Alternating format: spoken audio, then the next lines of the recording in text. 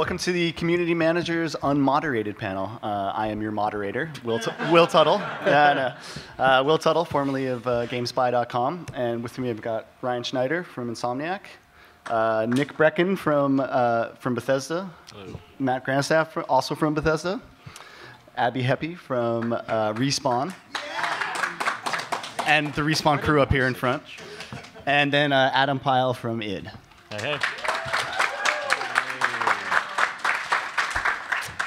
Uh, so I guess we'll kick things off with uh, kind of a basic question. Uh, what drew you guys into community management, um, and how did you actually get into it? Whoever wants to start. Um, I uh, like video games, and uh, I, I- reviewed video games in college and had a marketing job that, that was looking at stuff for clients like Bioshock and The Darkness. And living in Washington, D.C., there's not a lot of video game jobs, but there's Bethesda, and it's 20 minutes away. Uh, they opened up uh, the position right before uh, Fallout 3 got announced, and uh, they needed somebody. They hired me, so it's great. How about you? How about you, Abbie? Uh, well, I came from Press too. I was at G4 before um, starting at Respawn. And uh, who else here is from G4 Or respawn. or Respawn? um, and so I was doing video game reviews and, and heading up a lot of our conference coverage.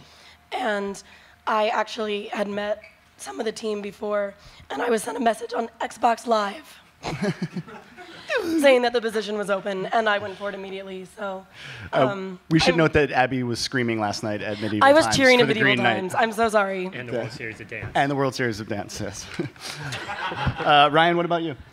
Uh, you know, when I showed up to Insomniac, I was there to uh, run our PR and marketing. But the biggest thing I realized was, as an independent game developer, that we should be the ones taking care of our fans, not our publisher. And there was just a huge opportunity there. So, uh, basically, I just formed something out of nothing. And this was back in like early, you know, 2000. Uh, I want to say 2004, 2005. Like, there was really just us and like Bungie from like a console standpoint, and just kind of making it up as I went along. Nick?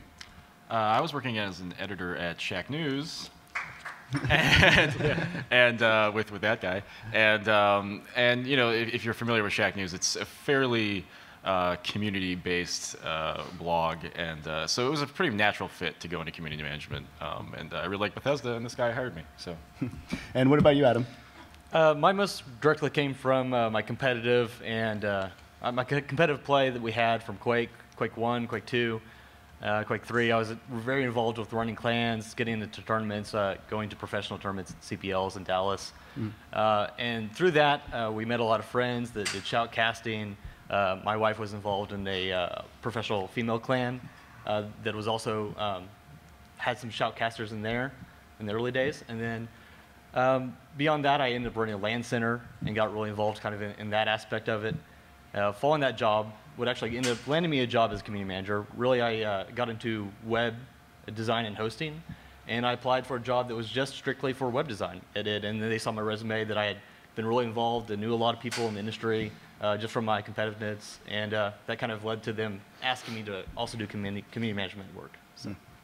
Um, Ryan, you mentioned that you uh, that you started uh, at Insomniac doing some PR and stuff. Um, can you guys talk a little bit about the relationship between uh, the, the public relations and community management, like how the two groups work together, if they know what they're each doing? Um, you know, I know it's probably different at every company, but how is it at Insomniac? Well, at Insomniac, um, where we've evolved to is that you know PR really at Sony will take care of like press relations, or they'll take care of like uh, the PlayStation blog, for instance. But we take care of our specific fan base, and I think um, over time there was a real struggle for that. At first, like from the console side of things, um, when I first started, nobody was really sure what to make of us at, at Sony and this whole community thing. And then once they realized, hey, this is pretty powerful stuff, there sort of initially was like a bit of a tug of war. Like, hey, well, is this PR? Is this marketing? And then over time, I think we reached sort of a, a mutual understanding that, hey, you guys take care of your fan base, we'll take care of our fan base, and uh, we won't step on your toes when it comes to like press relations. Let us take care of you know the group that we know best, and that's our fans. So that's how it's sort of uh, that's sort of the evolution over you know past six, seven years or so. How about at uh, Bethesda, where where PR is in house? So you guys are basically a publisher and a developer. Yeah. How does um, there? Uh, I mean, my boss is right there, Tracy Thompson. He's got a cool shirt on that Nick made. Uh, uh, and Pete Hines, who's our VP of uh, marketing and, and PR. And, uh, you know, we're working with them to complement what's going on with the PR stuff. But, you know, we're also in a frontline position where we're able to uh, see what you guys are saying when we're announcing things. Uh, recently, Prey 2 was announced, and a lot of people started saying, well, where the hell is Tommy? Tommy was this main character in Prey. Um, and so, you know, we're able to say, you know what, a lot of people want to know about this, so we should probably do something. And, you know, in the coming weeks, I think we'll have more information on his involvement in the game. So, uh, you know, we're, we're, uh, we're seeing what's being said by you guys out there. Um, h- how do you typically deal with um, uh, unannounced games that everybody knows exist? Uh, you know, like you guys had Skyrim. Uh, I'm sure Adam, maybe there's a Doom game in the future somewhere. Uh, there, there might be. yeah. Uh, how, how do you guys typically deal with that? Like Adam, you know, how do you how do you deal with that uh, as far as the, just the dealing with the community around that? Uh, well, you know, in general, we you know we really avoid talking about anything that's not released, but we do like to talk about the IPs, how strong they are, what we uh, tend to like about each one, and how they favor. And so we, you know, you know, for instance, when people talk about Doom 4, uh, they often will ask a lot of questions about, you know, what its multiplayer will be like, what its single player will be like, will be much like these earlier titles. And while we can't get into any details about that, we tend to uh, like to talk about the strengths of the IP in general, about uh, what fans are attracted to. And uh, when they're looking for a certain type of gameplay, we can kind of direct them, well, you know, maybe that's more of a- a Quake series type of gameplay that, you know, we might be looking at or considering for a future title there. And uh, we, we kind of let them know that we, we seek to fulfill those needs um, without really going into details about what we have planned. We had a uh, interesting situation uh, about a year, I guess it was a year, a year and a half ago, where a billboard uh, from Battle Los Angeles leaked uh, from production. And all along, we were told that um, when we when we supplied the assets for it for Resistance Three, uh, that this was supposed to be. We we were under the impression that it was digital, but it was a big billboard that was in like downtown New Orleans, and they just left it up after filming. So how do you how do you not acknowledge a game that has a billboard that's out? You know, that was that It was was just a fan. yeah, yeah, yeah, It was fan art, so that was that was that was awkward. It doesn't exist until you uh, create the uh, forum topic, right? Yeah. Yeah. Um, Abbie, you're you're kind of in a unique position because uh, you know all the guys up here have um, basically I work for companies that have games, uh, whereas whereas respawn nobody Well, knows anything about. Uh, you, you know, I mean, I'm sure you guys are working on some game, but but nobody knows anything about it. Uh, yet you already have this strong community around just the brand and the people that work there. Um, Yeah, and it's true. I mean, we can't even do what Adam is doing and talk about, you know, the strength of the brand or franchise that we have not announced yet. So it's a very difficult position, but I think, um, and the way that we've launched our website and the way that we share information has a lot to do with the studio culture and what it's like to work there. And because I think that's really what makes it a special and great place to work. So we try to show really fun looks, try to take some stuff in a really not, um, like we do interviews with people on the team. Sorry, I'm so sorry about my voice. Go Green Knight. I know, right? Um, so we try to do a lot of interviews with people on the team and take looks at uh, some of the stuff we do outside the studio, and uh, it's it's fun. It is going to get more challenging, but also I think it's a great way for people to become a part of our community by getting to know the developer.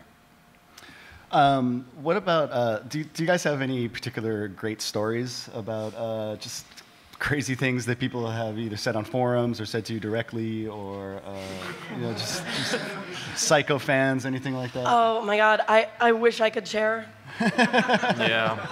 but I probably shouldn't. Um, yeah, we get a lot of really weird stuff. It's it'll get worse. It's not as bad. When I was actually at my first Yes, magazine job, somebody sent us this amazingly detailed um, cross stitch of a Pokemon, fully framed, and I don't under, really. We never really understood why, but it smelled like pee. and we were all terrified of it. But it was it was done so painstakingly and it was so detailed that we hung it on the office wall. and just never smelled it. The P wall. We get um, we, we have a monthly. We have fans out there who have sent us uh, like we get like a monthly kind of candy of the month, which we have dubbed Fandy, and it's been. I mean, the first time we got it, we weren't sure what to do with it, and we weren't sure if people were trying to kill us. Like, so it was sort of like. Uh, you know, no, you taste it. No, no, no, no, you taste it. And then, okay, we tried. Okay, it seems legit. I haven't died yet. That's good. Uh, I believe that's what interns are for. Right. Yes, that's also true. So I guess the, the strangest one we got was we literally got a gigantic bag of mixed nuts. so we got a bag of nuts. Like, thank you, fans. It's awesome. so do you eat it now? Like, Yeah, yeah, it's fine. Uh, nothing. Nobody. Nobody's been lost for the count. And so far, so good. So you know, You're so brave. yeah, yeah. We're, we're trying. We, we love our fans. we'll eat whatever you make. Was- that, that came out wrong. Yeah. How has uh, how has community management uh, changed? Um, you know, changed the most over the last few years. Um, you know, I don't know how long each of you guys have been doing it, but but there've been some changes. You know, as far as like podcasts and things like that. Um, what, what have been some of the biggest changes you guys have seen? Oh, that's a tough one. Um, you know, I, I think there's just more and more interest in, in our games and more and more avenues of where we're going to be, you know, talking to our fans. I think when I started, not many people had Facebook accounts. I was still looking at should we have a MySpace page and like, you know, now like we're not going to do that. We're not doing Friendster. Um, but you know, now you're at a point where it's like, well, is Google Plus going to take off, and do I need to do something with that? And uh, you know, we're doing the podcast stuff, and you know, a lot of times Ryan and, and James and your team, you know, we're seeing stuff that you guys do, and being one of the first community, uh, you know, like you said, community console groups. Uh, you know, we've seen a lot of stuff you've done, and, we, and we've we've just taken it. That's that's totally okay. I mean, I think that's I think that's what it's all about. It's all about collaboration and learning and growing from each other. And you know, I think the biggest thing I'm seeing like right now is it's it, measurement, like being able to being able to interact with our fans on a one-to-one basis and know, for instance, like you know, there's this thing called Clout. I'm sure you guys have heard of it, where like it kind of measures your uh, Facebook and Twitter kind of how much you amplify across the social network, so to speak. And it's interesting to be able to look at that and see, okay, you know, we definitely need to reach to these guys because they have like their when they reach out to people, uh, their score is, is such that you know our message is going to get spread that much more. And it's just it's great that there's uh, more metrics behind what we're doing and be able to kind of uh, just really just uh, expand from a, a marketing and PR standpoint and know that what we're doing actually has a tangible effect is uh, really cool for us. Yeah, it's a lot of instant gratification. What are you influential in on Clout now?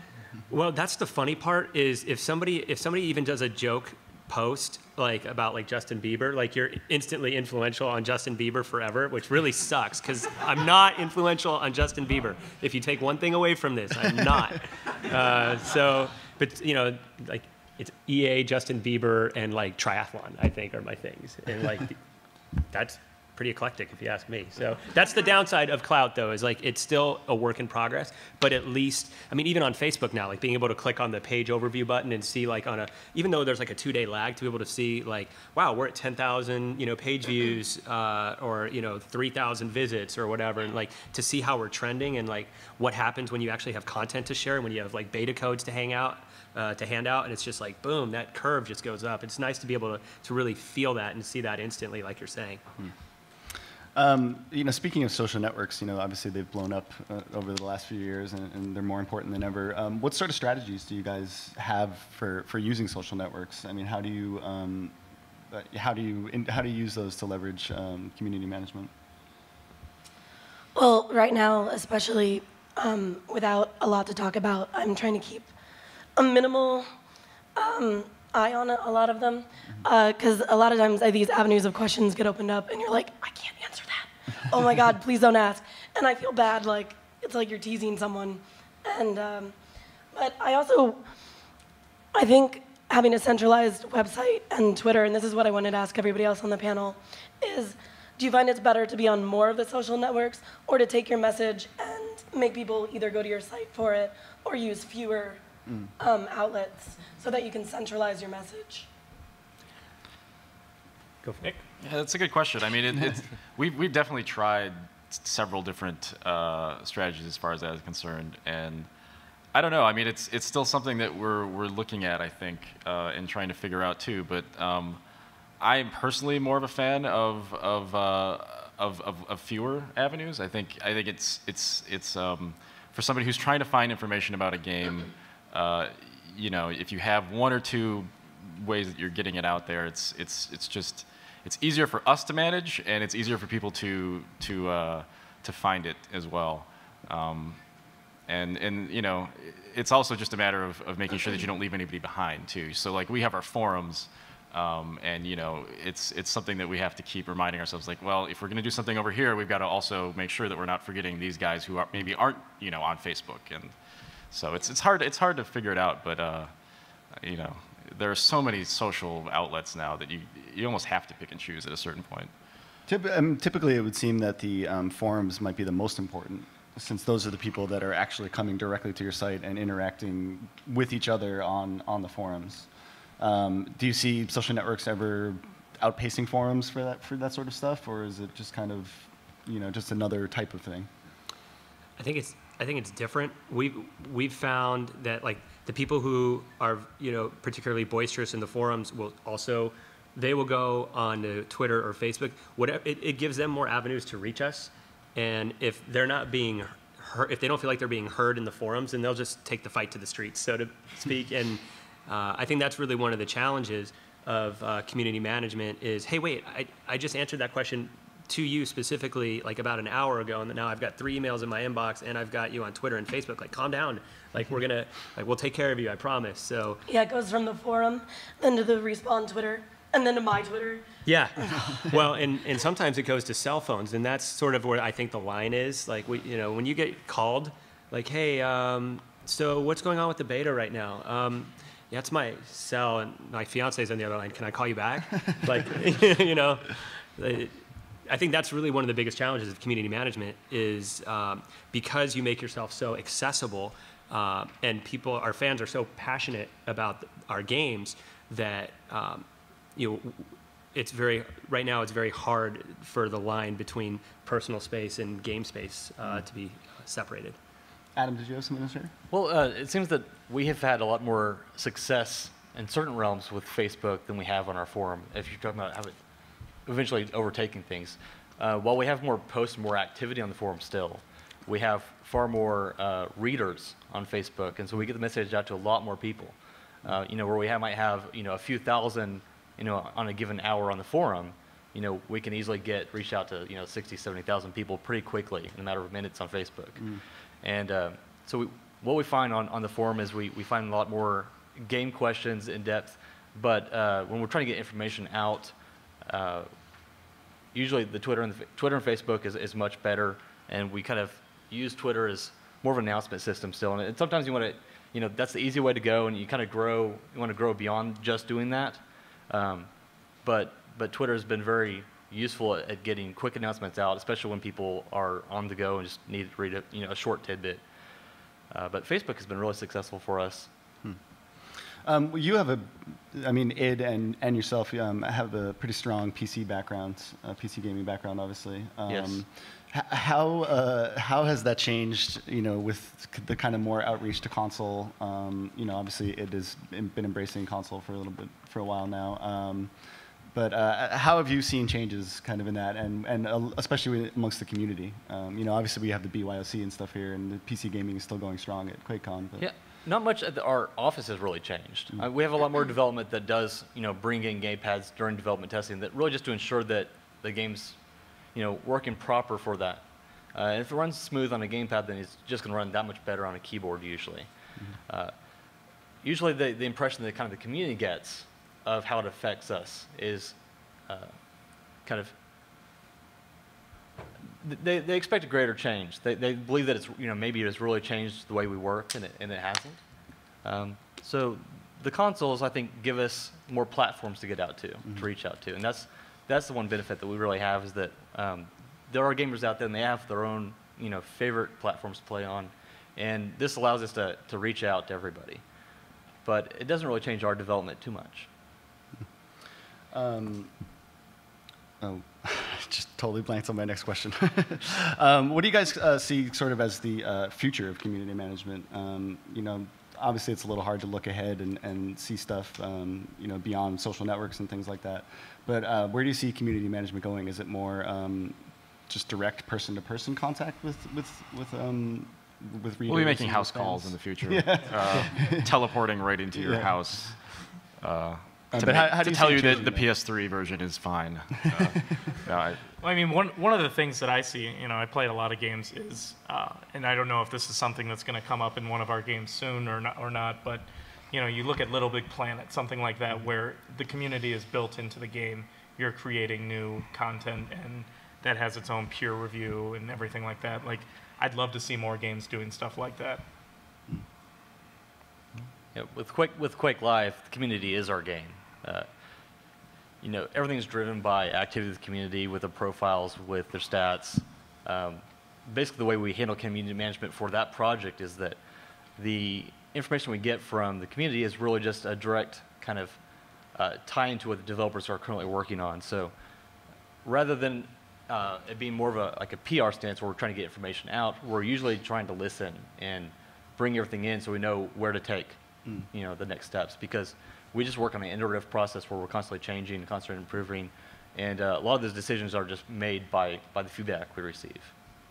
At what point in the uh, development process uh, does community management typically come in? I mean, are you guys there from the start typically? Like, do you, do you always know what's going on in all the developer uh, development departments, or are you, do you more come in later? Yeah, I mean, we, we definitely are involved from the very beginning.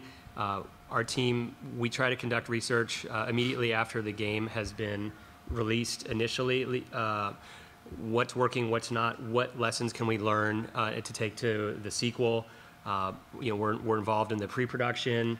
Uh, we're basically like we, we try to we think of ourselves as in-house marketing even though we have a publisher that we work with as well. So that means that we're doing a lot of our own research and we're talking to the community and passing that back to production. Our feeling is we can be faster than waiting for that market research that takes like two to three weeks if not longer to compile and bring back. So i mean as everybody here knows like community doesn't work that way. Like that that's ancient history. So we just try to be uh, a little more uh, you know quick boots on the ground Yeah, I mean, we're, we're involved pretty early on on projects. Uh, we're, we're seeing what's happening with projects years in advance. So, uh, you know, we can provide our feedback based on the feedback we get from you guys um, and, and, you know, make sure that the games we're making are the games you guys want to play. Uh, how do you typically deal with angry fans? you know, I'm sure every so often you get somebody who's really pissed off in the forums or, or on Facebook or on We Twitter haven't even done anything and people get mad at me sometimes. Uh, I mean, do you basically just try to diffuse the situation generally, or, or do you ever lash out? Is there ever, ever any, you know, shut your mouth? I try as, as much as possible never to get pissed off at someone, you know, because I don't know who's on the other end of that. It's one of those things where I'm going to assume that it's somebody that, you know, goes online and, and thinks they can say whatever they want to say Yeah. because, you know, it's this anonymous posting. But uh, uh, you, you get some weird stuff. Um, I've gotten a few death threats. Um, but, uh, you know, it happens and, and you just roll with it. You know, you know how it's going to be. So, Is that how you know you've made it? When you get your first death threat? yeah. I got, I got a few, I'm I got a few as an editor. You know, I'm really relieved to hear that. That it you know, just me. So I, got, I got a few when I was press. Yeah, I got a few. Yeah. I just I just try to keep uh, because I'm not in the forums the way that I used to be. Like, but I sit right next to the guys that are, and as soon as I start to hear them go, and by the way, uh, there are actually some kids here. I can't say what I was about to say, but you know, gosh darn it, like so and so fans really making me upset. Like that's usually about That the fan's time- actually in the room right now. yeah, that's usually about the time I try to step in and be like, now, James, Yeah. maybe you should step away from your desk for a moment and let's make sure we think twice before doing the ban hammer. You know, it's like, I've, I've had to reach out to people, and I always try to keep in mind, like, like you said, if I was saying this publicly, or if I was saying this to a member of the press, or knew that somebody was going to take what I said and maybe post it somewhere else, that's how I look at everything I write. it's very That smart. it's public. Yeah. and um, and that's a way that you kind of keep yourself safe and keep yourself under control. I have, however, written v- out very very angry emails and then deleted them. Yes. yes. a lot. Cathartic. Yeah. It is. Oh, yes. I actually don't feel like I'm ever really holding back like that. Um, I kind of, I don't know, I stay a little bit more level headed where I don't want anything really bother me too much. And I realize that when we open ourselves up to taking everyone's opinion, you're going to get a lot of opinion.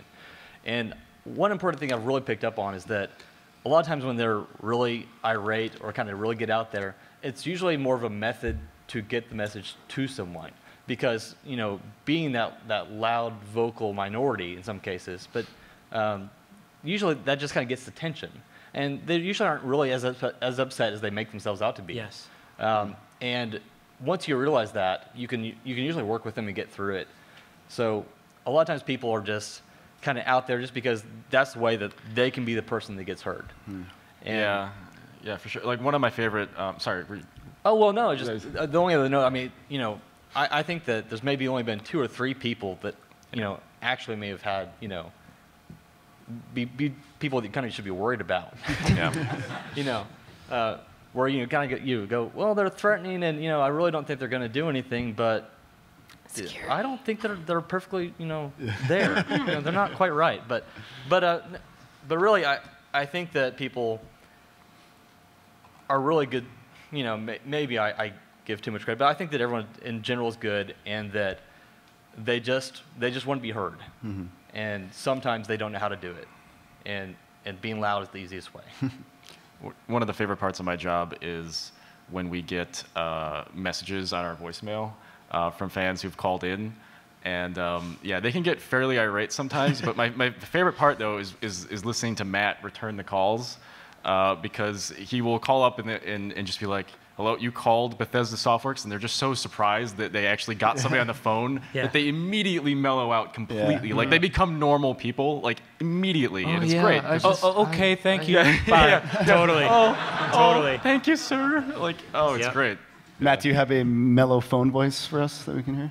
Um, normally it's just uh, the fact that they go on for, uh, you know, like 10 minutes, and you're just listening and you're listening. Uh, okay, I got it, I got it, I got it. Just say the phone number slow enough that I can write it down. Five four four five five, five. and then I'm hitting seven on my voicemail to like rewind. No, I still didn't hear it. Hitting seven again to rewind it. Um, Yeah, we always typically found that uh, people, basically, if, we, if they sent you an angry, angry email or called you or whatever, if you replied, they were immediately like, oh, uh, okay, you know, like they just kind of wanted to throw it out there and didn't necessarily expect a reply or didn't necessarily want one. Um, h- how much do you guys use um, the community to to kind of manage itself and moderate itself? You know, obviously, a lot of forums have, you know, most of the moderators are fans and, and you know don't officially work for the company. Yeah, we don't even actually have moderators yet. Um, and so far, everybody who's been coming to our site, with very little exception, has done a really good job. I've noticed people who post the correct answer in threads and who basically are moderating, and we've never actually asked them to. It's great. I hope that lasts a little longer. Yeah, I mean, we, we have a pretty large team of moderators, but we also have a fairly large amount of uh, insomniacs that like to uh, participate as well. I mean, our biggest challenge initially was I had to convince Ted when we first started this that we could even have forums. Like he thought we would give all of our secrets away and that this is the worst idea ever. And you know, over time we've basically evolved to where uh, it's you know like they have like the WWJD bracelets. Like we just have like the WWTD bracelet. I mean, if, if Ted wouldn't do it, then you shouldn't either. And uh, it, it generally works itself out really well. The community is fairly self-policing for the most part, and um, you know rarely do things get out of control.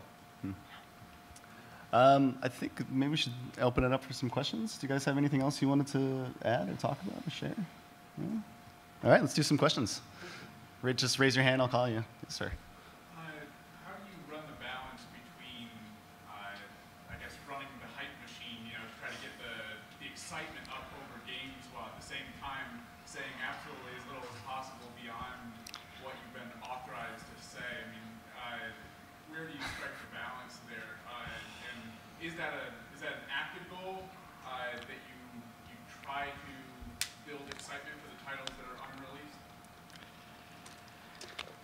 Um, I mean, we, we want everybody to be excited about our games, but uh, you know, if, if there's things people want to know, I mean, people are want to know everything about the game, and there's a certain point where um, there's things that we want to share, and we, we talk with uh, you know our PR and marketing about what we want to share, but we also have to talk with development too about what what we want to share and what they want to share. I mean, there could be something that is the coolest thing in the game, and it's what you want to know about the game, but you know, we don't want to spoil it. I mean, you you don't want to go into the next Batman movie and know everything that uh, that uh, that's in the movie, even though it might be on their Facebook page every day right now. But um, um, so yeah, um, we we try to put a, you know the right amount of stuff out that uh, it'll satisfy everybody and, and they'll be impressed by what we're showing.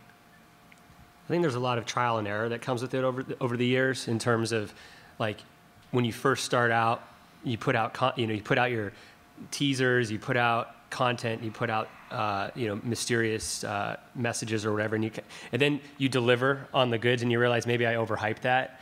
Uh, and over time, you realize what the perfect blend is for that, but it doesn't. It doesn't happen uh, right. Getting it right the first time, so to speak, uh, is very, very uh, difficult to do. Yes.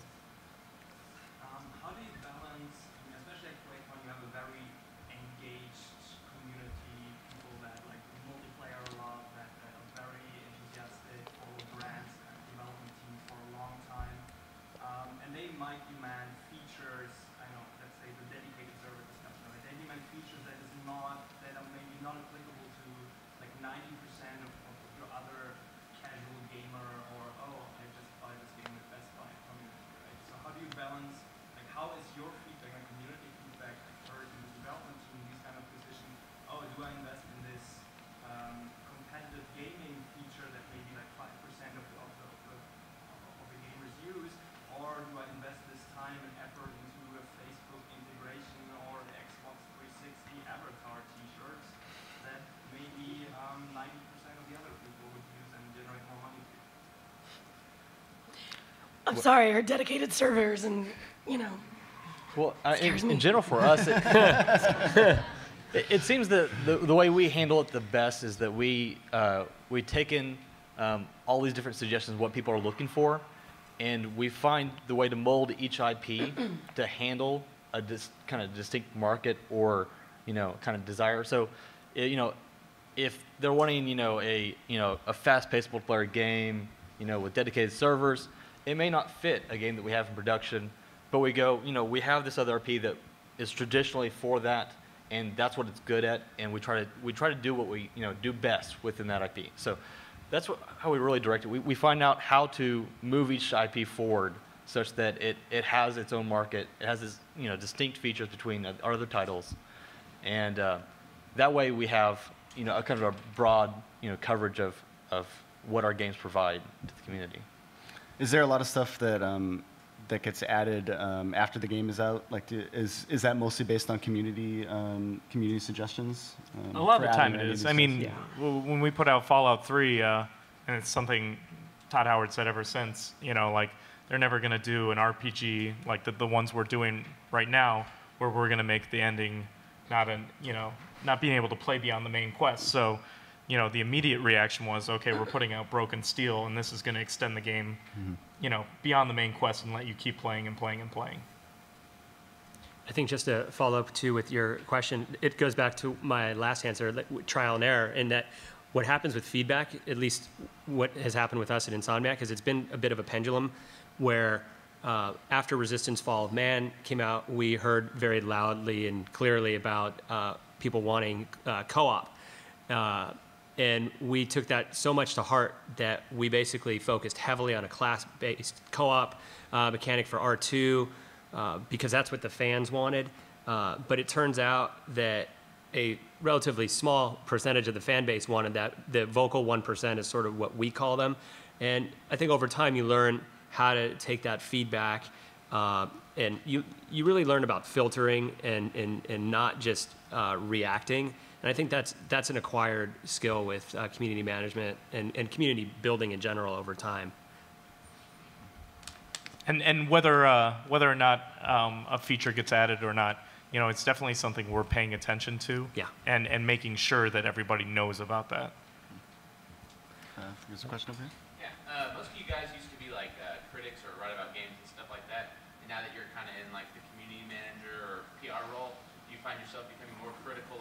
PR managers or the way they handle things?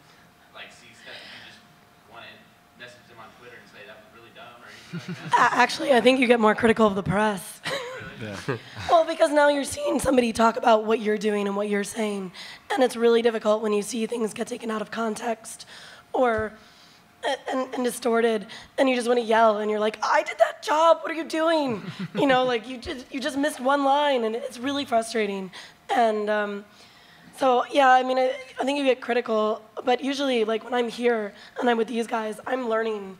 Like we're talking about what we do, and these are conversations that I've had with these guys at this convention outside of the panel, and it's wonderful because you really get a good chance to Talk. talk, um, learn from you know everybody else, and and so I tend to be less critical of other people doing sort of my job. I'm trying to, you know, trial and error. Yeah, and, and just to build off that too, um, we had, you know, James used to be uh, a games journalist uh, roughly the same time as Matt, right? Like, Yeah, yeah.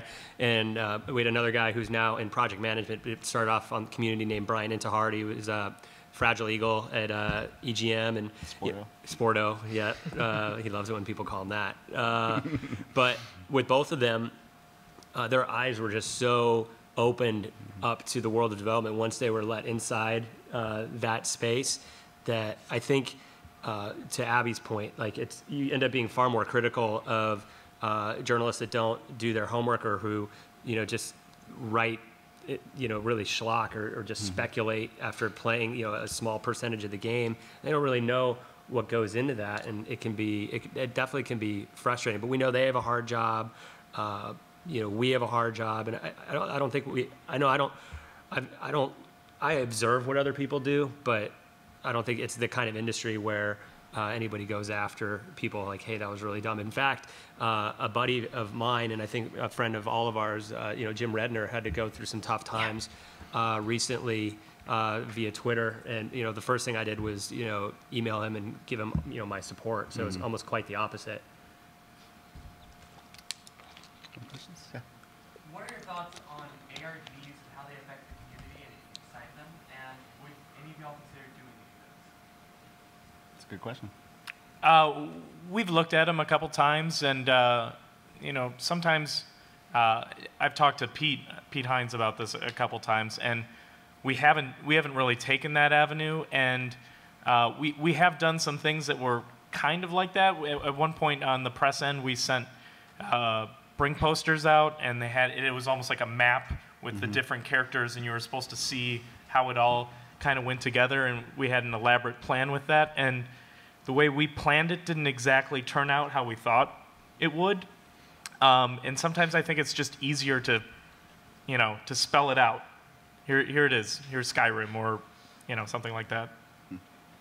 We did um, we did an ARG for Resistance 2. We actually worked with uh, the, the same team that did I Love Bees and the and the Batman campaign, uh, 42 Entertainment, and you know, we learned a lot from that process. Um, it was very it was two two really different communities. Like the ARG community is a very distinct group that wants to really dive into that rabbit hole, and then the game specific community. I think to Matt's point, they want the info. Like, mm-hmm. what am I going to be playing? Like, I need specifics. Like, what, what what's happening that's different from R1? What are you doing at R2?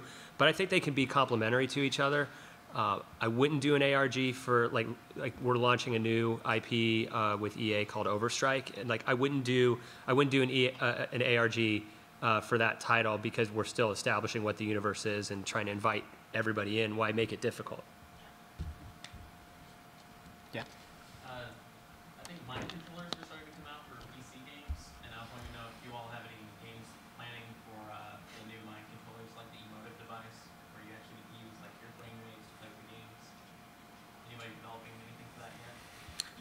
I don't think we'd tell you if we were. I was I was joking around last night though, or the other night. I'm, I am working on a fourth person shooter. What was it called again? It was called Toby, I believe. Or, Yes, or, uh, uh, that's yeah, it. Yeah. It's like Catherine. but it's Toby.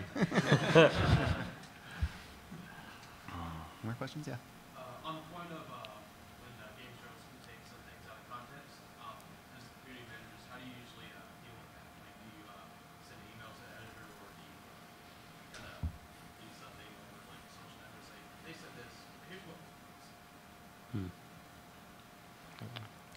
Yeah.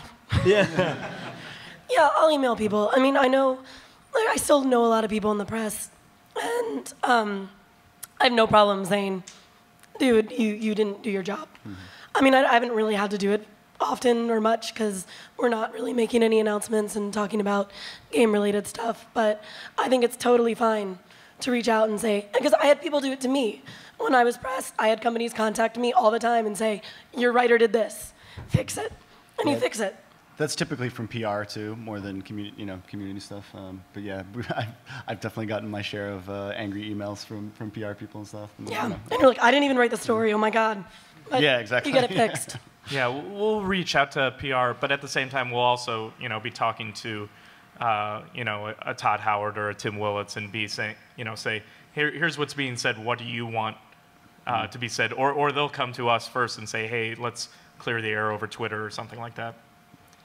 Yeah, and from Insomniac's standpoint, like if it's a Sony IP, then you know we'll go to Sony PR and say, hey, these three facts are wrong. We'll let Sony PR take care of it, and then if for whatever reason, um, you know, the inaccuracies are spreading through social media, then we'll kind of take to the streets uh, and you know make sure that on Twitter and Facebook that we're you know saying here here's the real deal. Uh, and, and correcting it that way, but we, we will always at least defer to the Sony PR team first. You know, that's probably actually a really good, um, to the point we were talking about earlier about how community management has changed.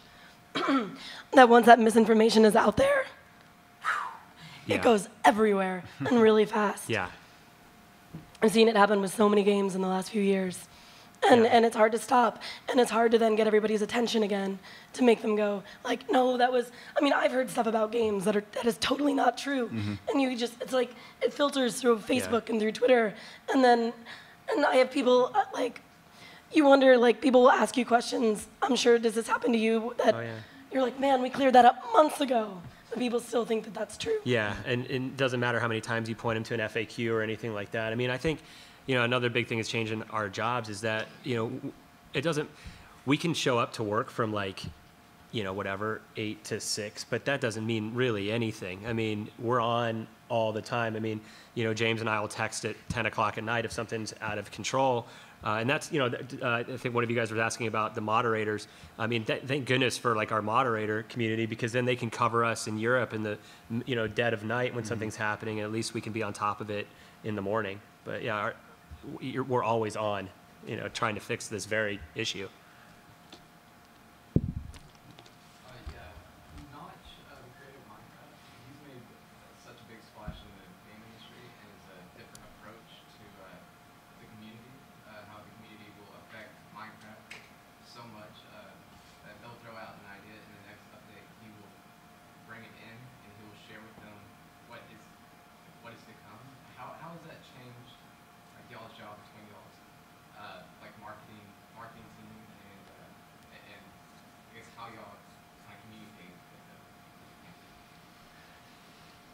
I, I, think one of the main things, you know, like with, uh, say, our Elder Scrolls titles, we do give out the modding tools, so they'll be able to create the game, um, create the content they want to make. Um, you know, if there's something down the road where, where we have something that is, is have more of a something like Minecraft, maybe we'd implement that more. But you know, for now, if we're giving the tools for them to do what they want to do, we, we let them go ahead and do that. Go ahead.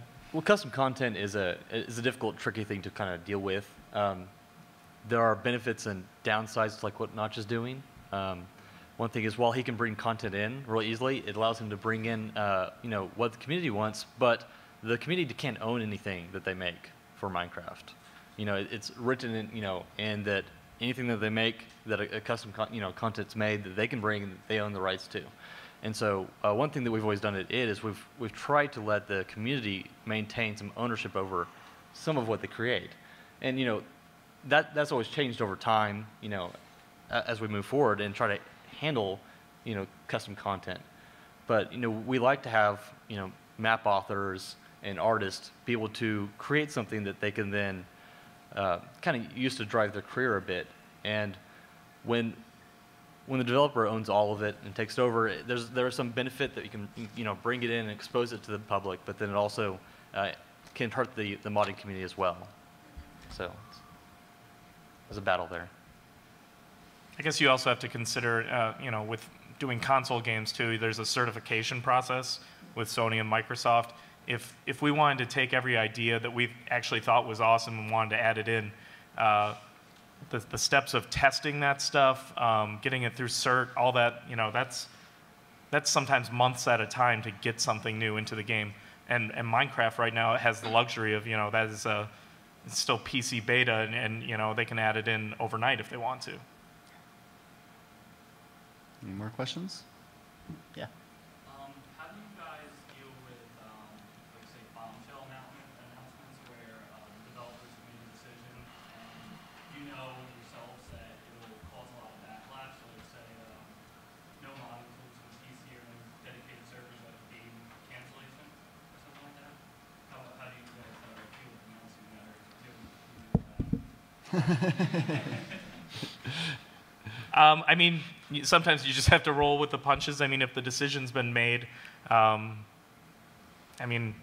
I'm not the CEO. I'm not the president. I, you know, I, if there's a decision, we, we want to let the, the fans know the honest answer uh, of what what's happened. But um, we can't always just make the change afterwards because a petition's gone up or something like that.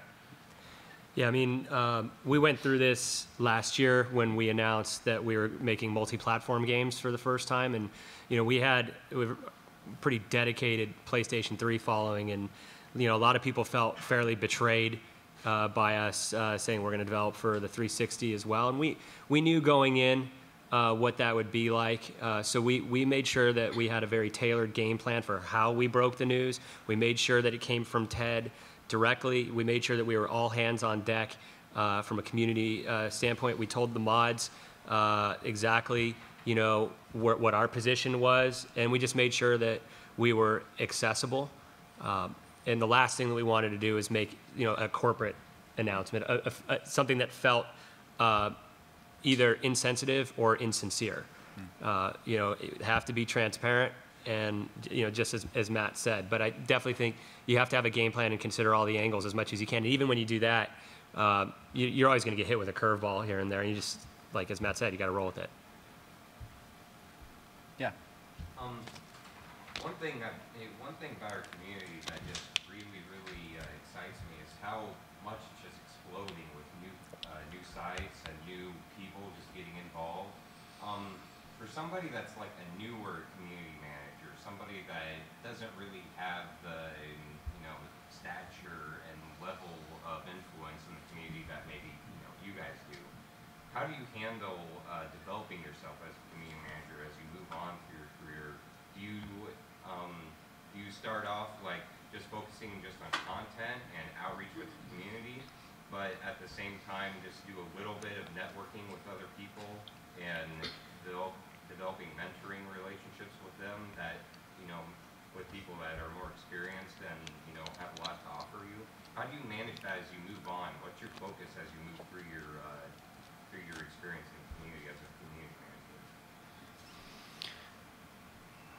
I think one, th- I, one thing I try to do is is still maintain. I mean, I, I don't know if this really answers your question, but is maintain somewhat of your you know, some of your personality and w- when you're interacting with fans. I mean, like it's it's easy to to sort of slip into that PR role and and kind of and and give very stale answers to people or something, but.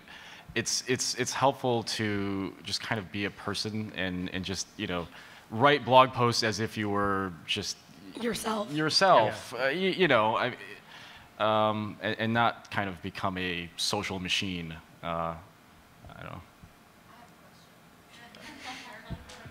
Uh, yeah, you specifically is who I was referring to. Uh, Good follow up there. That's, yeah, that was a good follow You're up. fired. okay.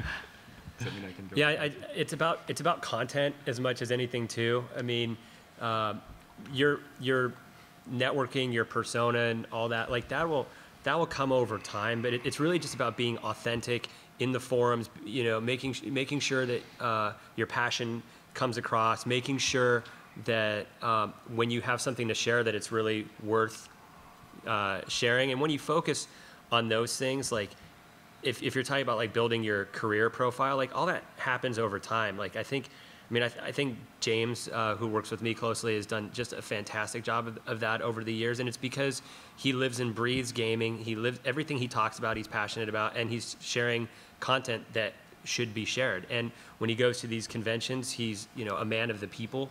Uh, so to speak. He's always, you know, out there uh, meeting the people that he's on, uh, the, you know, online with.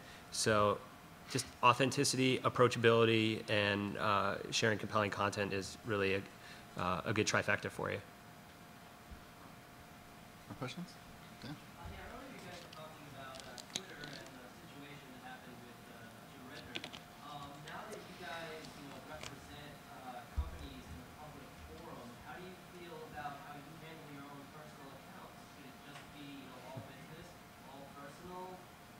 I have two. Yeah, I have two. And, you know, I think uh, back to the point I made earlier take everything you say and make sure that it's something that you're comfortable saying in public and you don't mind maybe even your mom reading.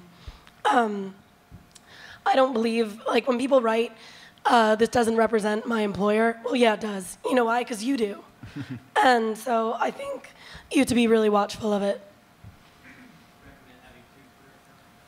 Yeah, well, I mean, I don't want to make game announcements from or anything from my personal. Like, I'll send it out from there, but we have our respawn account. I mean, that's where they should be coming from. Not just do you want to kind of keep some of your personal stuff personal, but just as much you, the community's not really interested, you know, in a lot of your your daily kind of personal, you know, Twitter or Facebook posts. And so you want to make sure that you're providing them the information that they want. So you need to keep a personality for yourself. You don't want to become just a, a you know dry page where you you, know, you put up your corporate post, but but you definitely want to make sure that the message you're getting across is something that they're interested in, as as well as it being you know important content. So um, You don't want to see pictures of my cats. no. What What did Adam have for breakfast this morning? Typically, I, don't, and and so I, I don't have to make a post for that. I had but- watermelon. I used to have two Twitter accounts, and I just found it was too much of a pain in the butt. Well- uh, and actually, I think Google Plus may help solve this one day in terms of like with the circles and being able to tailor who you're talking to and how. I mean, that's what I'm most excited about for uh, Google Plus. I think it could really be helpful there. Chris. Chris. Twitter, where do you draw that line between personal and professional? You know, for Twitter, obviously, you know, it can be public, it can be private. But for Facebook, we'll get a lot of people, a lot of fans reaching out to our own individual developers asking to be friends. And this is something where they talk about, you know, their wife's medical condition or something. You know, how do you let your fans down and be like, look, that's awesome that you want to follow us. That's awesome you want to know everything there is to know. But this is just too far. Unless it's somebody that I would say is actually my friend, uh, usually, uh, usually I have to just think about it and assess the situation. And sometimes it varies. Um, sometimes I'm just going to limit the access they have to a Facebook account. Um, the biggest concern I have normally with social media is when I accidentally uh, post my like, you know, talking about Michigan football from the Bethesda blog Twitter account. And then it's a real quick delete. Yeah. I keep Sometimes. separate groups also. Sometimes. So I mean, there's a peop- there's people that are friends on social networks that can't see the majority of what I'm posting or information about me. I try to keep it as separate as possible. I've kind of just made myself a Facebook whore.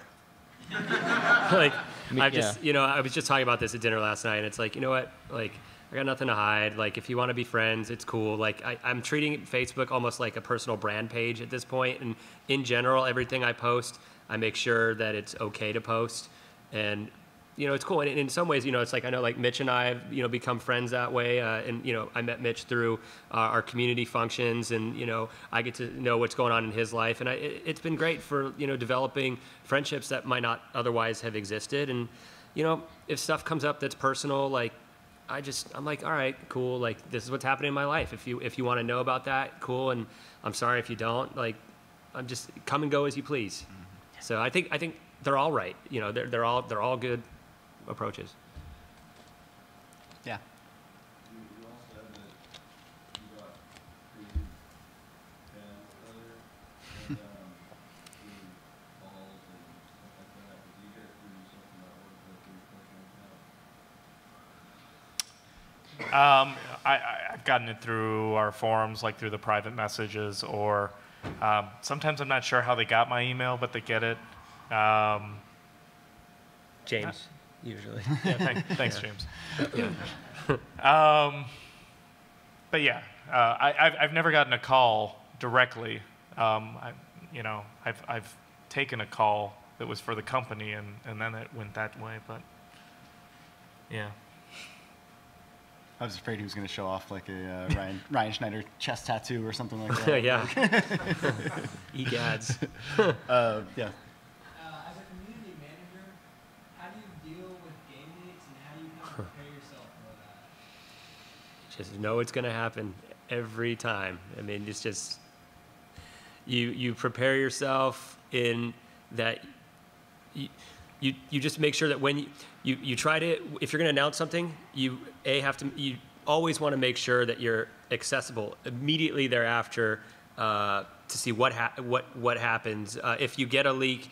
Uh, that's where having a great moderator network comes in handy if it's in the middle of the night and you can be alerted to that. But I mean, we all you have to plan for the fact that nothing is ever going to go uh, according to plan, and when it doesn't, uh, you know, you just you have to kind of roll with the punches. I mean, I think I think Call of Duty did a heck of a job with that uh, this year. Uh, yeah, they just put they put up the videos right away. yeah, I mean, I thought that was absolutely brilliant.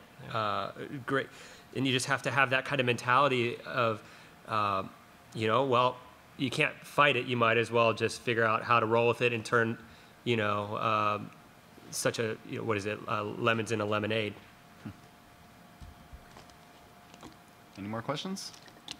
Yep. Uh, do you ever worry about, uh, I guess, consciously worry about how the community perceives you as uh, cool company versus not cool company? I mean, there was like the whole, uh, what, LulzSec, you know, hacking it and stuff, and I guess that's still going on. Uh, and I think, you know, Bethesda had some part in that in, in the sense that they were regarded as, oh, well, we like their games or, or something. Yeah, that was that was nice for him to say that, and and uh, yeah.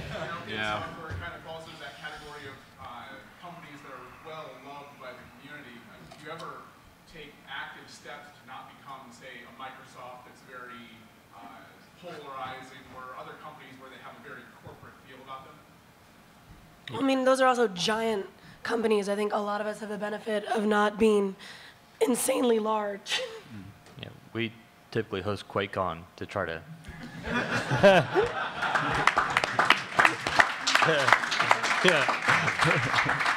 I mean, we really do love the community, and we try to, um, you know, kind of maintain that peace. And uh, I think that we, we care about the image a lot. Um, you know, sometimes you can't always do anything about it, but we definitely care. Anyone Yes. else? Anyone? No? Going once, twice? Okay. Guess that's it. Thanks for coming out. Appreciate it. Come say hi if you want after. And thanks to everyone for coming.